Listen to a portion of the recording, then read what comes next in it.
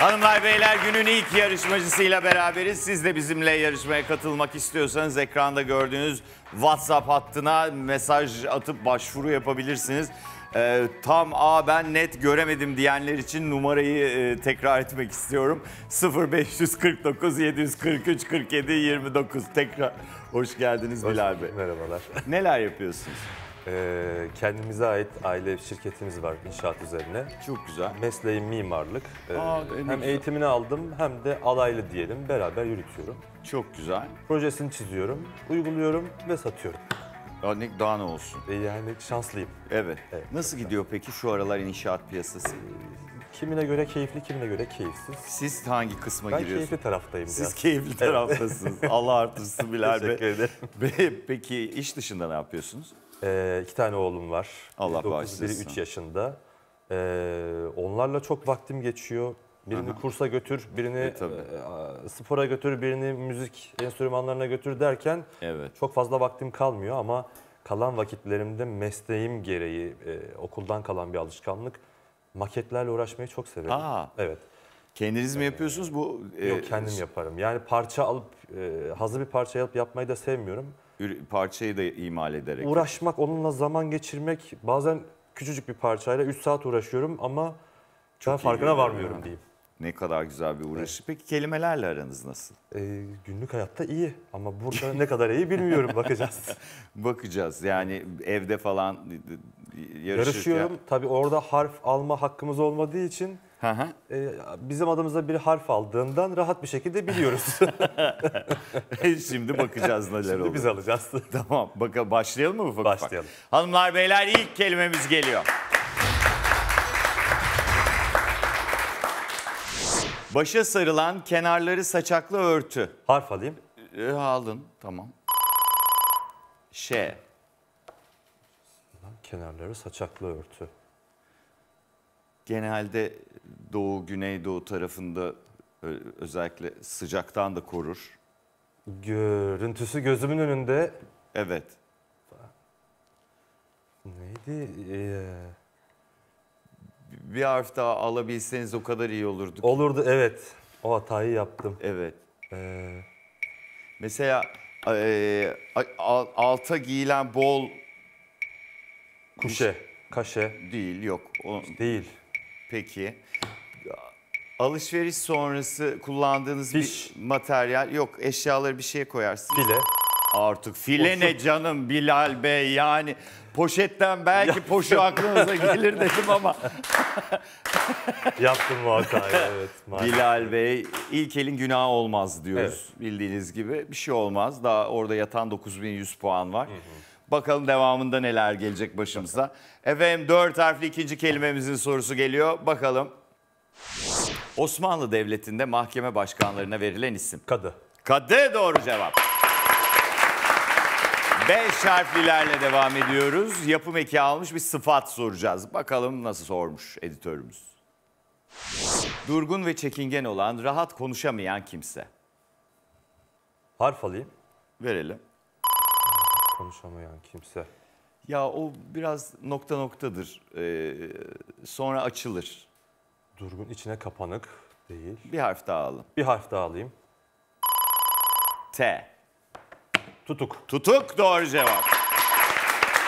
Beş harflilerle devam ediyoruz. Arapça kökenli bir kelime sormaya karar vermiş bizimki. Gelsin bakalım soru.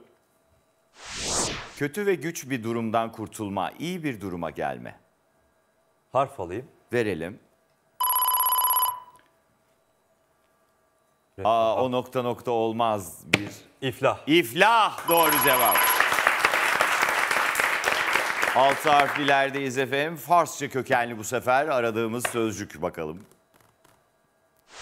Osmanlılarda yalnızca padişahlar için kullanılan bir ünvan. Harf alayım. Harf verelim. A, şapkalı A. E. Harf alayım. E, verelim. Bir yemek var patlıcanlı. Hünkar. Hünkar doğru cevap. Efendim altı harflerle devam ediyoruz. İnanır mısınız gastronomiden geliyor soru. Buyursunlar. Balık yumurtası ile yapılan bir meze türü. Bildiğim bir şeydi bu. Kesinlikle hepsini biliyorsunuz zaten normalde. Harf alayım. Harf alalım. T. Saçınızı Taramak. söyleyin. Demin söylediğiniz... Taramak. Tar. İşte bir- Tartar. Hayır. Son harfi söylemeyin. Demin söyle- Tarama. Tarama doğru cevap. Ee, efendim 7 harflere geçtik inanır mısınız? Ee, ve geldi işte Fransızca kökenli bir kelime. Hadi bakalım gelsin soru. Bir ürünün üzerinde bulunan devlet tarafından denetlendiği ve vergisinin alındığını gösteren etiket. Eskiden kasetlerde o, olması ile ilgili çok e, şey olurdu. Bir harf alayım. Harf verelim. D. Hiçbir şey gelmedi aklıma. Bir harf daha alayım. Buyurun. Yani benim de aklıma gelen yerden ipucu veremem. Zam gelmiş. Bir harf daha alayım. Bir harf daha.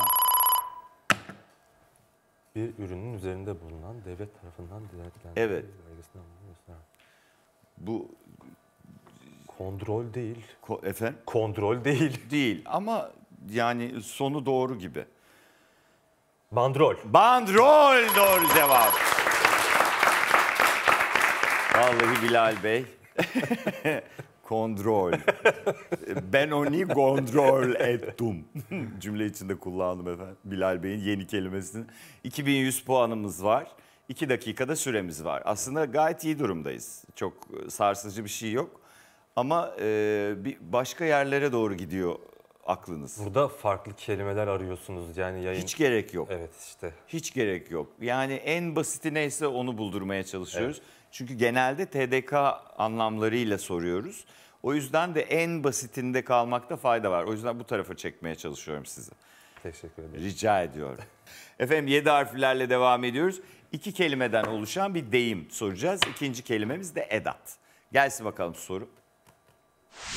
Söylenenleri çabuk kavrayan, anlayışı yüksek, zeki insanları tarif eden bir mecaz. Kavrayan. Aa o bak çok Hızlı zeka Di- değil. değil, o değil. Harf alayım. Verelim.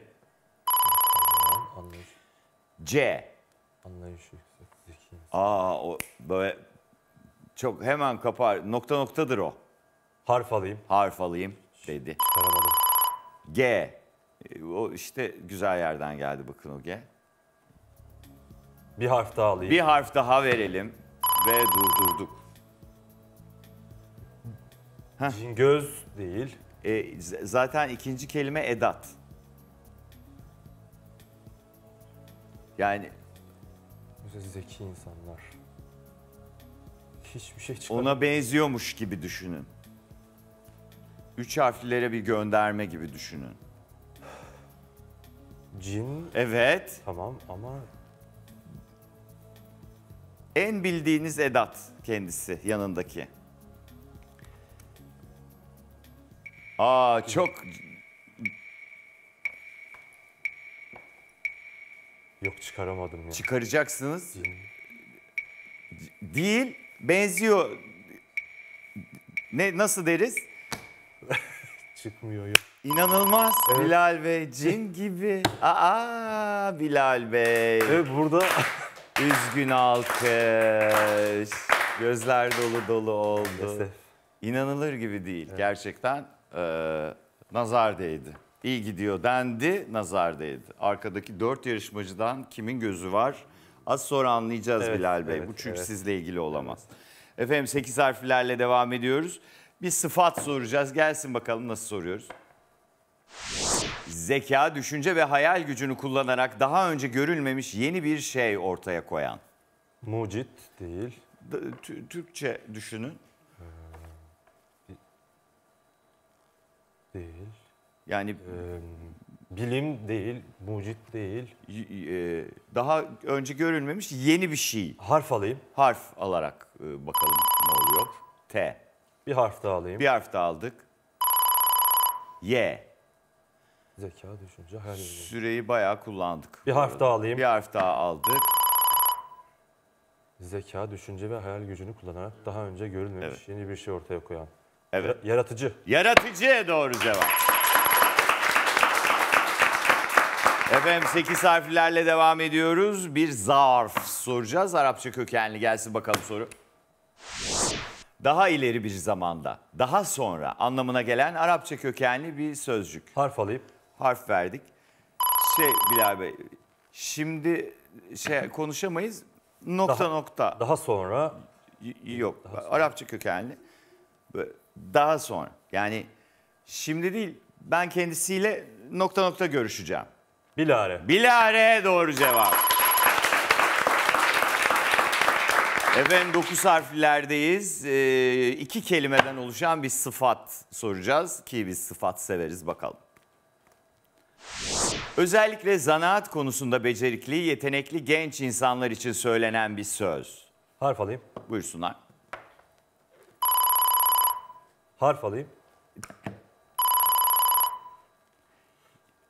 Zanaat konusunda yetenekli. Yani o onu yapabilir ya. Onun öyle şeylere nokta nokta. Yetenekli. İki kelime. Yete. Siz şimdi maket yapıyorsunuz. Evet. O kolayca yapıyorsunuzdur. Neden? Çünkü Eli yatkın. eli yatkın doğru cevap. Efendim bir diğer 9 harfli aradığımız kelime yapım eki ve master almış inanır mısınız? Kısmen de gastronomiden geliyor. Gelsin bakalım. Özellikle Adana kebabı gibi yemekleri yaparken eti kıyma haline getirmek için uygulanan işlemin adı. Harf alayım. Tabii. Bir harf daha alayım. A- Aha. Zırhlamak. Zırhlamak. Doğru cevap. Ben de e, yani bildiğinize çok Evet, emindim. Biliyorum ama işte Tabii gelmesi için biraz zaman gerekiyor. 10 harflerle devam ediyoruz. İki kelime efendim aradığımız cevap ve mastarla bitiyor. Gelsin bakalım. Aç gözlü davranmak anlamına gelen Harf alayım. tabir. Harf alayım. Ve durdurdunuz tebrikler. Aç gözü davranmak anlamına gelen. Efendim aza nokta nokta çoğu bulamaz. Tamah etmek. Tamah etmek doğru cevap. Efendim 10 harfli son istediğimiz cevap tek kelime mastarla bitiyor. Ee, bakalım nasıl geliyor. Halk arasında dayak atmak Harf alayım. anlamına gelen sözcük. Benzetmek. Pataklamak. Pataklamak doğru cevap. Vallahi Bilal Bey bir an sonunu göremez miyiz acaba diye endişelendim ha. Ben de korktum. Ee, geçmiş olsun 6000 puan felaket bir durumda değiliz onu size söyleyeyim. Yani ne olacağı belli olmuyor. 6000 puanla gün birincisi bile olunabilir. Sizden sonraki 4 yarışmacıya bağlı. Evet arkamdaki arkadaşlara bakınca biraz zor. Evet. Ama olsun keyifliydi. Ayaklarınıza sağlık. Bilal Bey. Hanımlar beyler Bilal Bey'i alkışlarla yerine uğurluyoruz ve ikinci yarışmacımız geliyor.